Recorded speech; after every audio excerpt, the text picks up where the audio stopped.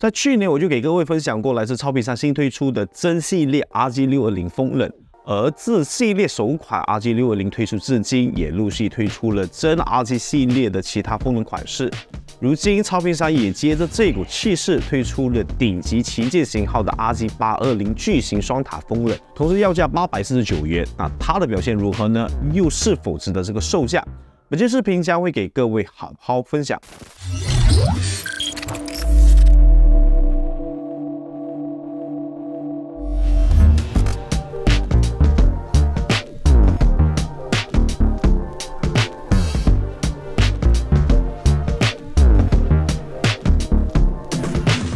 先来看看包装的部分，RG 八二零的包装采用了和所有真 RG 系列统一化的包装设计语言，但体积明显更大更高。里头附件做了三个盒子进行分类，分别是 Intel 与 AMD 平台扣具的分类盒，以及扣具旋钮和散热硅脂等配件的盒子。这套扣具和我之前测过的 RG 六二零是完全相同的，这表示它们之间的扣具都是通用的。除此之外，RG 八二零还附赠了一套 L 型螺丝刀，而用于用户更加方便安装散热器本体。接着我们来聊聊散热器本体，RG 八二零的外观采用了一体化的设计，这个设计会让我直接想到地库九州风神的 Assassin 四。啊，感觉 RG 八二零在设计上确实也借鉴了阿萨辛四，不过不同的是，RG 八二零依旧采用了前置一把与中间一把风扇的组合，而并不是阿萨辛四的中间一把与尾部一把的组合。同时，RG 八二零整体体积看上去明显还是比阿萨辛四更巨大的。主要原因是 RG 八二零采用了多达八个热管的设计，这让我有点期待它的散热表现。RG 八二零采用了 CNC 切割成型航空铝磁吸顶盖。顶盖左上方是超频三的发光 logo，而左下方则是做了一个三角形切割的亚克力 ARGB 透光，而配套的风扇是采用了一大一小的组合。前面这把十二厘米风扇是嵌进风扇滑轨框架内的，能够在使用马甲高度较高的机体内存时进行滑动，将风扇给推高进行避让兼容。风扇本体最高转速在两千两百 RPM，啊，理论上性能应该是不会很弱。但是由于是嵌进滑轨框架内啊，想要替换风扇的难度有点高，而我也是为了不要损害到散热器本体，造成散热设施影响，而最终我也没能将它给替换出来。另一把风扇是在散热器顶盖内，需要将散热器顶盖打开后，才能在中间处看见。采用了特规形状的十四厘米风扇，最大转速来到了一千五百 RPM。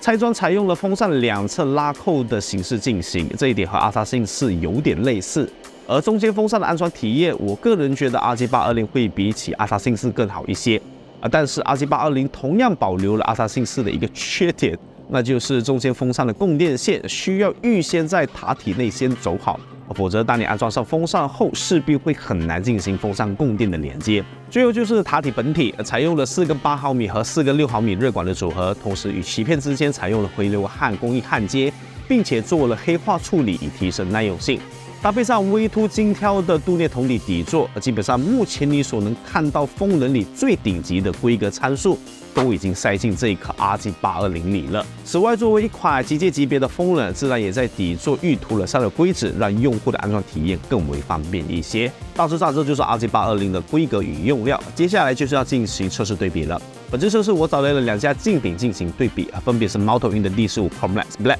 以及地酷九州风神的 Assassin 四。至于大家心心念念的 D 十五 G 二，由于测试 RG 八二零的期间还没到我这，因此我会将 RG 八二零与 D 十五 G 二的性能对比放在猫头鹰 D 十五 G 二评测那一期啊，不想错过的朋友记得关注我的频道啊。为了让更多新手用户了解这几款散热器直接的规格差异，我也将这几款散热器的规格对比列表放在屏幕上，有兴趣的观众可以自行暂停参考。而在正式进行散热性能测试前，我先来进行扣具安装对比，看看三家风冷品牌的扣具安装体验。首先是猫头鹰的 D 十五 Chromeless Black 啊，采用的是全金属背板搭配塑料柱子的设计，塑料柱子并没有阻尼设计，在机箱竖直下进行安装，其实需要稍微注意一下。好在扣具是采用手拧螺帽固定，可以优先手拧将扣具稍微固定后，再用螺丝刀锁紧即可。整体体验还算是不错的啊，就只是在机箱竖直状态下进行扣具安装需要留点心。再来是地酷角色风神阿萨信四，呃，同样是全金属背板，但采用的是手拧金属螺柱固定，可靠性比起猫头鹰的塑料柱子是好很多的，只是需要增加四角进行旋转螺丝固定的操作，而且一些散热装脚较大的主板会存在一些角落的螺丝不太好锁好的情况。最后就是超频三的 RG 八二零啊，基本上扣具的设计和阿萨辛是非常相似，同样也是全金属背板，同样也是手拧螺柱固定啊，只不过螺柱外壳是塑料的，而非全金属。不过螺柱体积比起阿萨辛四来的小啊，所以旋紧固定的操作会比起阿萨辛是稍微轻松一些。这里我需要提醒一点，如果你是新装机的用户，那么在主板平放状态下进行扣具安装，而猫头鹰 D 十五 Chromeless Black 的扣具安装体验则会比起另外两家更好。只不过日后拆装的时候就会回到数值状态会遇到的情况，所以我个人还是更加喜欢阿萨辛四和 RG 八二零的扣具设计。我不介意安装体验多一到两个步骤，而只要过程是简单且稳定可靠的就行了。因此，安装可靠性是我个人的优先考量。和各位分享完扣具安装体验对比后，现在马上来和各位分享散热性能测试对比。按照惯例，我还是先放出本次测试的硬件配置与环境参数，最后还是要再和各位重申一句：由于我手上的各款散热器只有一颗，因此最终的测试数据仅供参考。首先是原配风扇满速下的测试表现，在幺四七零零 K 控制在两百六十五瓦的满载烤机功耗下，三款散热器的表现都非常不赖啊！表现最好的是 RG 八二零啊，对比 D 十五和阿萨辛四都领先了两度。啊，看来 RG 八二零确实有点东西。不过由于三款风冷在满速状态下的转速以及噪音表现是完全不同的，因此第二项测试就是将它们统一调整至四十 dBA 噪音后，再次进行对比。这个模式也比较符合多数人日常可以接受的静音表现。调整方法是将机箱的风扇均调整至一千 RPM，再将散热器的风扇转速调整至四十 dBA 下的转速。这里我先放出四十 dBA 噪音模式下各款散热器的风扇转速情况，然后就是这个模式下的散热测试对比表现。在这个模式下，三款散热器均能够顶住两百六十五瓦的压制能力，而 RG 八二零以一度的优势而略胜 D 十五与阿萨信四。但我的测试可还没结束，而由于 RG 八二零和阿萨信四要替换风扇有点麻烦，因此我将测试改为原配风扇满速模式，在保持一百度的常驻温度表现下，能压制的处理器功耗上限到多少？不过这边需要声明一点，由于软显功耗可能会存在一点偏差情况，因此只能横向对比这三款散热器在统一环境下的压制功耗上限在多少。在这项对比中，RG 八零以优异的三百一十瓦压制力拉出明显的差异，排在它后面的 D 十五和阿萨辛四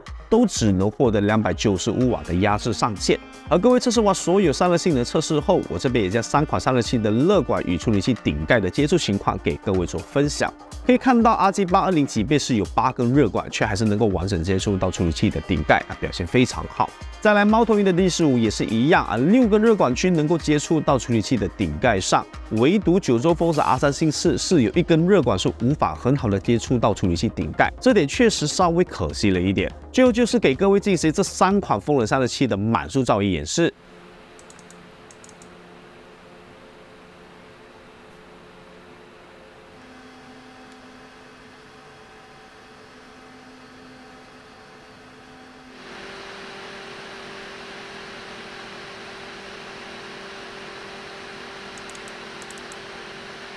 从噪音演示里能够明显知道，RT 八二零的噪音是最大最吵的，和另外三款简直是隔了一个档次。而最安静的莫过于猫头鹰 D 十五，只不过阿萨辛四的表现啊，其实也不遑多让。而各位分享完所有测试后，我这里也为 RT 八二零列出它的优缺点以及适合选购这款散热器的用户群体。首先来说说优点，RT 八二零确实有着目前所有风冷款式里散热性能排在最前端的款式。同时也能够和不少水冷一较高下，啊，再来就是有良好的风扇安装体验，而不再需要用远古时期就存在的铁丝扣具，以及一体化设计让它的外形更为独特性。然后是缺点，啊，首先就是巨大，而它的重量达到了夸张的一点八三公斤，啊，对于 MATS 主板来说并不是很友好，特别是显卡插槽在第一槽的设计，而对于 RG 八二零更是不友好。比较适合那些主板本体规格较好，可以顶住这个重量散热器的 ATS 主板。